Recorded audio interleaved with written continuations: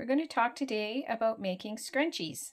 Uh, you can make them out of scrap material so that they match your t-shirts that you make. You need a safety pin, scissors, 9 inches of quarter inch elastic, and a piece of fabric that is three and a half inches wide by 22 inches long.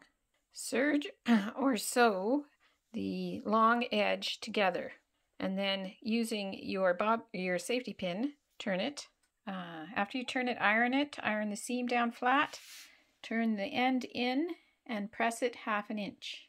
With the safety pin pull the elastic through. Tie the elastic. Tuck the raw end into the folded end. Moving the knot to the side sew the two ends together. Finished. That was fun